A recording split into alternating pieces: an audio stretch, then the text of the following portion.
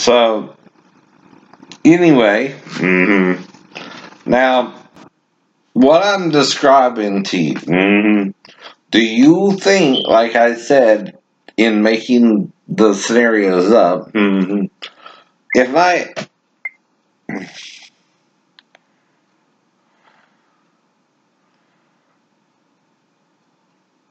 Ex wife saw any of that, do you think she wouldn't have done something about it and I wouldn't even woke up in the next morning?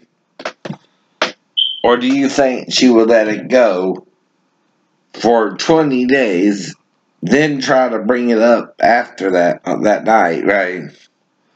Or not bring it up before we divorced, or wait till I got on YouTube and start accusing me of it herself? No. To her, it never happened. But see, only someone on base, right, could have attacked me and know about it. Do you understand why? I know. Because Daphne, right, herself would have dealt with it that night. I know. Right, right. Especially if I keep telling her I got amnesia, she's gonna. Yeah.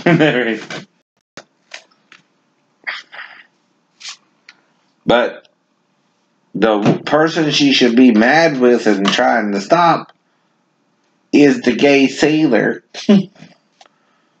who attacked me. Jumped from the window ledge somehow and managed to land jump. Not that I do that every day, but it's the only alternative way of getting down from the window that right? And you landed the jump, but when you told them in the front they didn't believe you, you started arguing about it.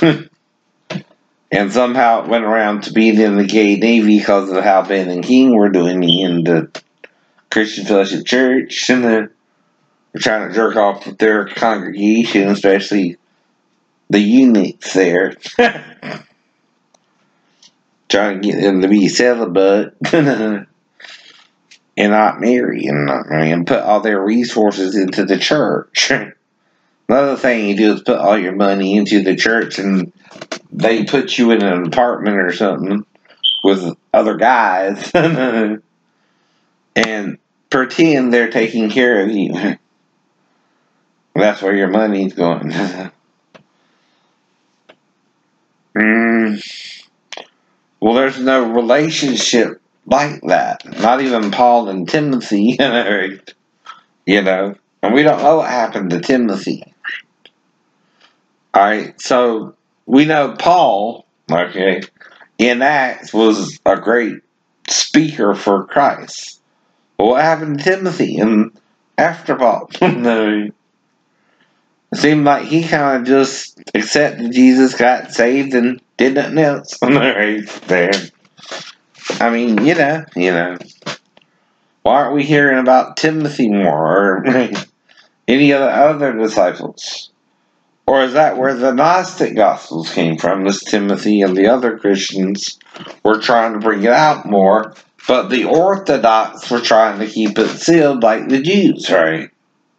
The truth, the truth. What do you think the seven seals are about in Revelations? The fact that the book in Isaiah is being sealed where they come to a certain passage and someone says, Hey, read this. I pray thee. He says, I cannot because I'm unlearned. I don't understand it, right? Well, I understand it now. it's like, Yoda, I will cry as a woman in travail, mm-hmm. which is the Lord saying.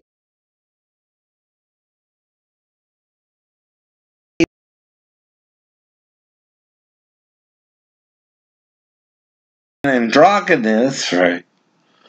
And not male, the trinity of males is wrong. And the real trinity of Christ is androgynous male and female. Mm-hmm. And he can metamorph into all three forms, right?